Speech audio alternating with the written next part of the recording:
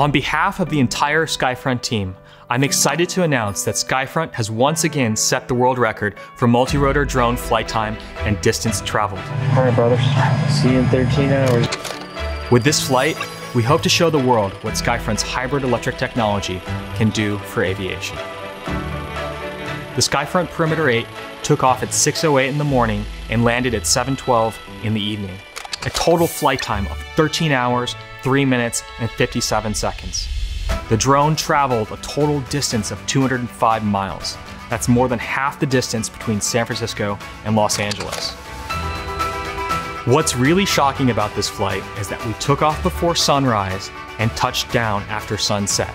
Our drones can fly longer than most multi-million dollar manned helicopters. The Skyfront Perimeter is a hybrid electric drone that converts gasoline into electricity in flight. What sets our drone apart is that we design and manufacture every component, from the autopilot to the hybrid electric power source, to be as powerful and efficient as possible, all while maintaining a lightweight design.